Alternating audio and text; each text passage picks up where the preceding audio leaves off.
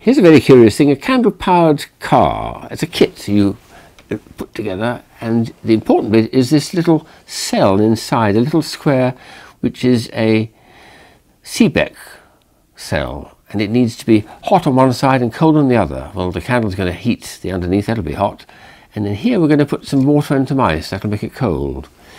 It then produces electricity which flows down these little wires into a motor and that then drives the wheel forward.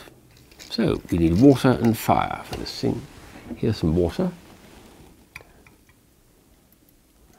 I want it to be nice and cold, so I'm going to put some ice in as well.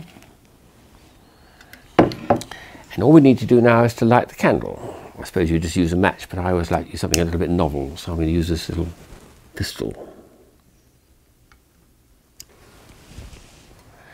And now we're going to see, oh, instant movement. Let's set this up on the table and see if we can get it to drive gently around our table. Off you go, dear.